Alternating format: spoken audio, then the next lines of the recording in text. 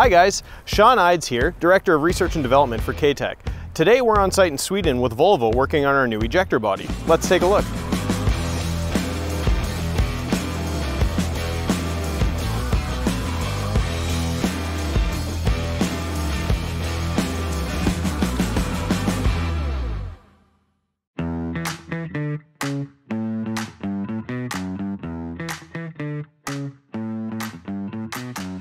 So, what are the benefits of an ejector body over a dump body?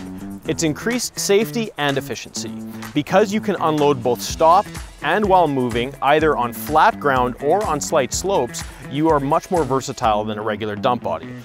You also don't have to worry about overhead obstructions because the box never lifts up.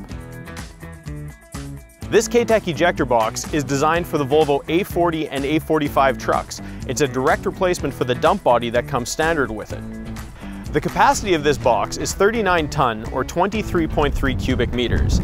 The height and width of the K-Tec ejector body do not exceed the road dimensions of a Volvo ADT hauler. The patent pending, bolt together design of our ejector body allows for easy international shipping. The hydraulically operated tailgate is linked with the ejector cycle, so all can be run simply using the existing dump lever hydraulics. Our patent pending three-point guide system utilizes slider blocks to allow for smooth, quiet operation of the ejector.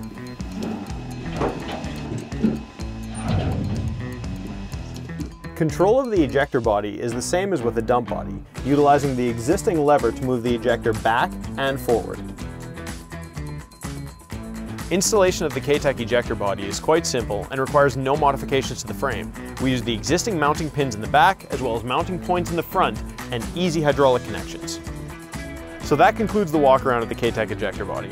Thanks to Volvo for allowing us access to their demo site here in Sweden and their continued partnership. If you want more product information or updates on the ejector body, head on over to ktec.com.